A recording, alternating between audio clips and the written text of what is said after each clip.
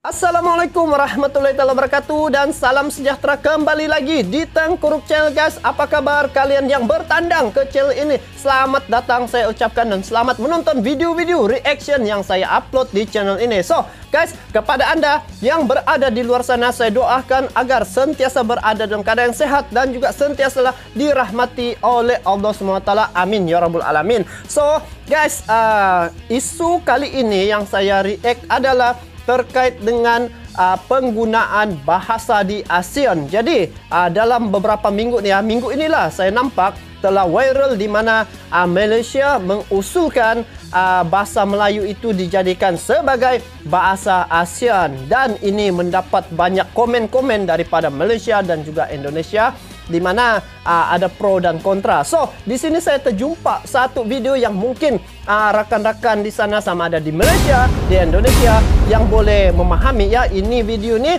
uh, apa ni uh, dasar ataupun asas uh, tajuknya adalah tolak bahasa Melayu. Ha. Bahasa Indonesia siap menjadi bahasa rasmi ASEAN. Jadi apakah uh, dia punya justifikasi kenapa bahasa Indonesia uh, yang siap untuk dijadikan bahasa rasmi ASEAN berbanding dengan bahasa Melayu. Nah, jadi ayo kita semak video ni. Mungkin ada rakan-rakan daripada Malaysia juga yang belum mengetahui. Jadi sama-sama kita berkongsi info ni dan untuk uh, makluman kalian, ini video saya tengok di channel uh, Basten uh, Sebo. Ha, kepada kalian yang menonton video ini, uh, sama-sama kita support juga channel Basten Sebo ini dengan memberi like, komen dan juga bagi yang belum lagi subscribe channelnya, bolehlah subscribe. So, guys, ayo kita semak uh, untuk menambah kita punya pengetahuan dan saya pun uh, mau melihatnya apakah justifikasi dan juga uh, cocoknya ataupun uh, logiknya uh, bahasa Indonesia itu sebagai bahasa rasmi ASEAN dibandingkan dengan menggunakan bahasa Melayu. Jadi, yuk kita semak video ini sama-sama. Jom. Halo teman-teman semuanya, jumpa lagi Hai. bersama saya Bastian Sebo. Jadi dalam Bastian kesempatan Sebo. kali ini saya mau melanjutkan lagi penjelasan saya. Bahasa Indonesia harus menjadi bahasa resmi ASEAN. Hmm. Kita harus mendukung upaya dari Kemendikbud, Menteri Nadiem yang saat ini tengah berusaha untuk menjadikan bahasa Indonesia sebagai bahasa resmi ASEAN. Hmm. Walaupun tengah ada upaya atau perjuangan dari Perdana Menteri Malaysia, Ismail Sabri hmm. Yaakob, yang kemarin berusaha mengunjungi beberapa negara ya di kawasan ASEAN. Perdana Menteri dari Malaysia ini ingin agar bahasa bahasa Melayu dijadikan bahasa resmi ASEAN. Ini uh, ceritanya Perdana Menteri uh, uh, katanya uh, telah mengunjungi beberapa negara untuk mempromosikan uh, bahasa Melayu itu sebagai digunakan sebagai uh, bahasa ASEAN ya. Uh, jadi ayo kita lanjut lagi guys. Dari masyarakat Indonesia sendiri jelas kita menolak hmm. bahasa Melayu menjadi bahasa resmi ASEAN. Kenapa? Kenapa? Karena bahasa Melayu, mohon maaf ya kepada saudara-saudari di Malaysia. Ya, anda apa? Uh, ini kita berkongsi sebenarnya uh, komen-komen macam inilah uh, pendapat dan pandangan-pandangan seumpama ini harus kita apa ni berkongsi ya untuk supaya kita tidak ada salah paham dan juga mungkin ada yang tidak mengetahui info-info daripada luar. Jadi inilah uh, peranan media sebenarnya uh, berkongsi uh, tentang perkara-perkara yang logik dan juga uh, sesuai untuk uh, kita punya uh, maklumat ya. Okey, ayo. Bagi kita di Indonesia, hmm. bahasa Melayu itu merupakan bahasa daerah oh. dan kedengarannya juga aneh. Contohnya seperti video berikut ini. Oh, afternoon. Selamat, Selamat siang. Oh, ini. Selamat tengah hari. Selamat siang kalau di Indonesia. Kalau di uh, Malaysia, uh, selamat tengah hari. University. University. Universitas. Universitas. University. Ah. Oh, Asukarai. Yes. Oh, okay. Faculty. Oh, Oke, okay, ini ini uh, yang sebelah sini ni uh, orang Indonesia. Uh, yang perempuan ini orang Malaysia ya, warga negara Malaysia dengan warga negara Indonesia. Inilah uh, apa perkataan-perkataan yang uh, apa ni perbezaan ya. Perbezaan satu uh, maksud yang sama tapi lain apa ni lain sebutan. Wah begitu. Yuk. Okay. fakultas. Fakultas. Fakulti. Fakulti. Oh.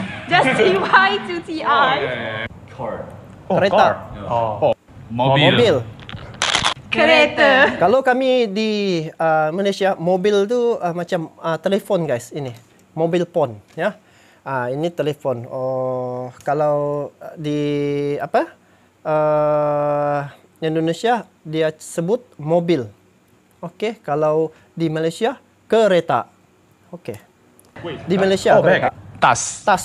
Tas apa? Beg tangan. Ransel. Bag. Bag. Oh, just bag. Bag. Oh, oh. oh just bag. Oh. Chair. Chair. Kursi. Oh, chair. Kursi. Kursi. Kursi. Kursi. Kerusi. Kerusi. Oh. Kerusi. Kerusi. Cell phone. Oh, cell, phone? phone apa nih? Uh, normal conversation we just call handphone or for short HP. Telefon bimbit. Ah, telepon. Telefon bimbit. Telefon bimbit. Telefon bimbit. Telefon bimbit. Ah, mobil phone. Ah, boleh juga ah, mobil phone dengan telefon bimbit. Ah, kalau Indonesia, oh, ah, AP ya, AP. Phone. Basketball. Basketball. Basketball. Basket. Bola basket. Bola basket. Bola keranjang. Bola keranjang. Oh, bicycle. Okay. Sepeda. Basikal. City. City. Kota. Kota. Bandar. Kota. Bandar. Ah. Bandar. Oh. Company. Oh, company. Perusahaan. Perusahaan. Syarikat. Syarikat. Oh. Department. Departemen. Depart. Jabatan. Hmm. Hospital. Hospital. Oh, hospital. rumah sakit. Rumah sakit. Hospital. Hospital. And clinic for the smaller one. International. Oh, international. Oke. Okay. Internasional. Antara bangsa. Oh. Oh, eight. Delapan. Delapan. Lapan. Oh, ini yang selalu saya dengar nom uh, lapan ni delapan. Kalau di tempat saya guys, uh, saya selalu terjumpa ini perkataan delapan sebab uh, bila berurus niaga ya. Uh, kalau saya di Tawau guys, jadi uh, perkataan-perkataan ini uh, memang selalu saya dengar guys uh, di tempat saya ni. Oh, delapan. Emergency. Emergency. Kecemasan. Oh, darurat. Dar oh, darurat atau ruangan darurat. kecemasan. Kecemasan. Emergency. Kecemasan. Shopping mall. Shopping mall. I usually call it mall. Uh, we can call it mall or pusat perbelanjaan, something like that. Pusat membeli belah. Oh. Pasar raya. Oke, setelah teman-teman semua menyimak Oke. video tersebut, jadi, Jadi itu tadi uh, apa ni? Uh, perkataan yang berbeza tapi maksud yang sama. Uh, itu antara dua ya, uh, Malaysia dengan Indonesia uh, ataupun uh, bahasa Melayu dengan bahasa Indonesia. So kita tengok saya mau tahu ini uh, apa ulasan uh, ini Basten Sebo ni. Dari sini kita bisa melihat ada beberapa perbedaan antara bahasa Indonesia dan bahasa Melayu. Oke, bahasa betul. Melayu itu ada beberapa kosakata yang kalau kita dengar itu aneh. Dan sekali lagi yang seperti saya katakan di awal tadi, kenapa dari Indonesia tidak setuju penggunaan bahasa Melayu sebagai bahasa resmi ASEAN? Hmm. Karena bahasa Melayu itu bagi kita itu merupakan bahasa daerah. Tidak dapat kita pungkiri juga, harus kita akui bahwa bahasa Indonesia itu asal dari bahasa Melayu. Tetapi da- dalam hal ini bukan berarti Melayu Malaysia ya. Kita juga ada ras Melayu di Sumatera, Kalimantan. Ya kalau di Indonesia bahasa Melayu itu disejajarkan dengan bahasa-bahasa daerah seperti bahasa Sunda atau bahasa Jawa dan bahasa daerah lainnya. Jadi kalau mengangkat bahasa Melayu menjadi bahasa resmi ASEAN digunakan di forum-forum resmi internasional seperti itu, maka itu sama halnya kita menggunakan bahasa Sunda di forum resmi internasional. Tidak apa-apa kalau bahasa daerah diangkat dalam rangka sebagai ragam seni atau event seni atau budaya. Tetapi kalau forumnya adalah komunikasi secara internasional, forum resmi untuk digunakan sebagai bahasa resmi, itu menurut saya lebih layak dan lebih pantas adalah bahasa Indonesia. Video kemarin yang sudah saya buatkan kemudian memunculkan beragam komentar dari para netizen. Di situ saya juga mendapatkan beberapa pengetahuan baru. Jadi ternyata ada netizen yang sudah tinggal di Malaysia. Mereka mengaku bahwa di Malaysia itu tidak digunakan secara merata bahasa Melayu. Ada beberapa daerah yang masih mempertahankan bahasa Melayu asli seperti di Sabah. Sedangkan Ah, Sabah itu saya punya uh, apa ini? negeri ya guys. Ah ni. Sabah, Sabah Maju Jaya. Ha. Lainnya itu sudah campur-campur. Betul. Di Malaysia itu bahasa Melayu tetapi lebih banyak penggunaannya dicampur dengan aksen bahasa Inggris. Lalu iya, iya. ada bahasa India dan juga ada bahasa Cina di situ. Jadi penggunaannya tidak merata di Malaysia. Betul, betul. Ada beberapa pernyataan dari netizen juga yang mengatakan bahwa ternyata di Malaysia mereka lebih pede atau lebih bangga menggunakan bahasa Inggris Hmm. dibandingkan bahasa Melayu. Jadi kalau dalam negeri saja bahasa Melayu tidak digunakan secara merata, bagaimana mungkin bahasa Melayu bisa dijadikan bahasa resmi ASEAN? Ini bukan betul ya, betul juga apa yang dikatakan oleh Basten Sebo ini. Saya uh, sependapat dengan dia, walaupun saya tinggal di Malaysia ya. Uh, di sini guys, uh, orang-orang di Malaysia nih ya, uh, sungguh pun uh, bahasa Melayu tu uh, dia nama, dinamakan di sini uh, tanah Melayu. Tetapi masih ada lagi ya guys, uh, segelintir masyarakat warga negara yang tidak boleh bercakap bahasa Melayu dengan lancar guys. Ha, berbeza dengan Indonesia yang saya tengok ha, di mana semua rakyat Indonesia itu ha, mampu untuk berbicara dalam bahasa Indonesia. Sedikit lagi guys, sedikit. Berarti saya mau dengar info saya mau merendahkan bahasa Melayu tidak ya? Saya hmm. tidak tidak ya, merendahkan ya, ya. bahasa Melayu. Saya mengakui bahasa Indonesia berasal dari bahasa Melayu. Hmm. Tetapi kalau saya untuk paham. dijadikan uh, bahasa resmi internasional atau bahasa resmi untuk komunikasi hubungan bilateral antar negara, hmm. itu menurut saya kalau itu harus dipakai salah satu bahasa di ASEAN, bahasa Indonesia yang lebih pantas untuk digunakan. Hmm. Ada 10 alasan kenapa bahasa Indonesia lebih layak dijadikan bahasa resmi ASEAN dibandingkan dengan bahasa Melayu Malaysia. Oh, yang pertama, okay, okay.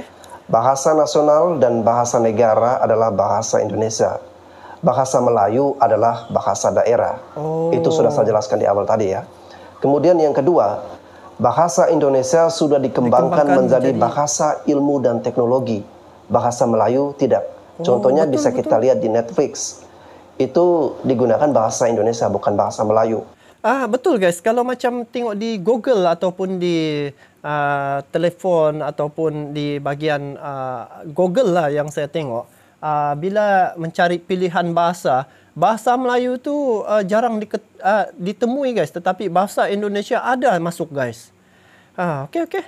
Lalu yang ketiga, jumlah kosakata bahasa Indonesia lebih banyak daripada kosakata bahasa Melayu.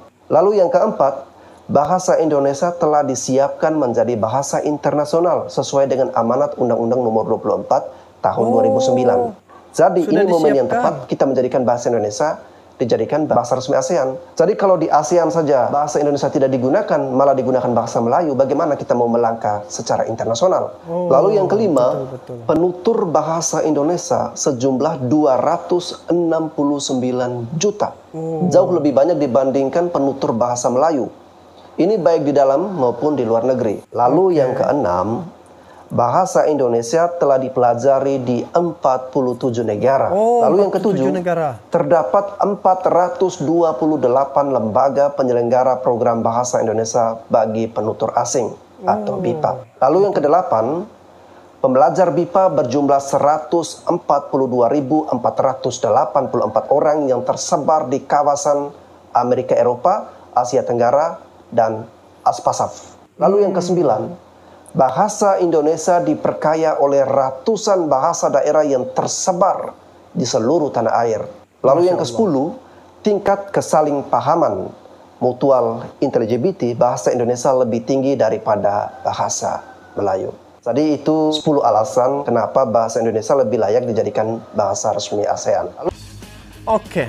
Jadi guys, uh, uh, yang diterangkan tadi itu adalah uh, perkara-perkara ataupun uh, 10 uh, alasan kenapa Indonesia ataupun bahasa Indonesia tu uh, lebih sesuai dijadikan sebagai bahasa ASEAN. Apa yang dikatakan tu saya amat bersetuju lah guys. Uh, saya sungguh pun daripada Malaysia ya uh, mengamalkan uh, bahasa Melayu. Tetapi apabila kita tengok di peringkat yang lebih luas lagi guys, uh, kita tengok uh, dari dari sudut uh, dia punya komuniti yang menggunakan bahasa Indonesia itu berapa jumlahnya. Jadi kalau tengok Indonesia dia punya penduduk sejak pun uh, 280 juta sehingga 320 juta ya. Yang terbaru saya nampak 320 juta jiwa ya ataupun penduduk. Jadi uh, penggunaan bahasa Indonesia itu uh, di Indonesia sejak sudah 320 juta. Manakala sebanyak 47 negara lagi yang mempelajari bahasa Indonesia itu di seluruh negara.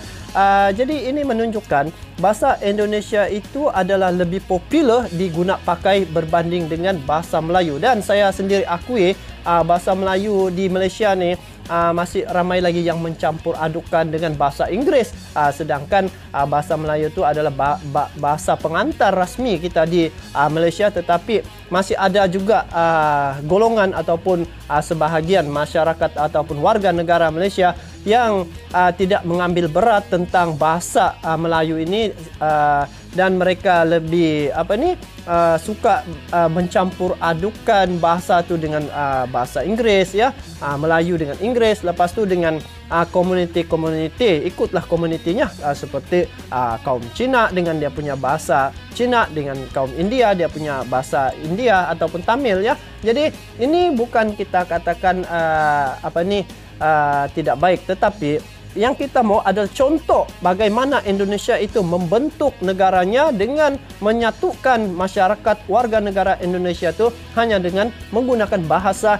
Maka Indonesia itu dapat bersatu guys. Ha jadi itu yang uh, sebenarnya uh, saya sebenarnya menyokong sebenarnya apa yang dikatakan oleh uh, Basten Seboni ya. Uh, dan uh, kalaupun ditengok ya uh, zaman pemerintahan dulu ada juga usaha untuk menyatukan uh, apa ni bahasa ini dengan wujudnya uh, perkataan satu Malaysia. Tetapi uh, dia macam di tengah jalan saja guys. Tidak berhasil uh, sepenuhnya tapi apapun kita harus terima lah ya. Dan saya sebagai warga negara Malaysia uh, dengan rendah hati menerima uh, apa yang dikatakan oleh orang Indonesia bahawa uh, bahasa Indonesia itu adalah lebih layak digunakan pakai sebagai uh, bahasa ASEAN. So guys, itu sejak daripada saya. Mohon maaf kalau ada terkasar bahasa dan uh, kepada kalian yang menonton video ini, bagaimana pandangan kalian tuh? Kalian bolehlah komen di bawah. Jadi, uh, salam silaturahim, salam serumpun dan salam persaudaraan daripada saya guys untuk kalian semua walau di mana juga Anda berada.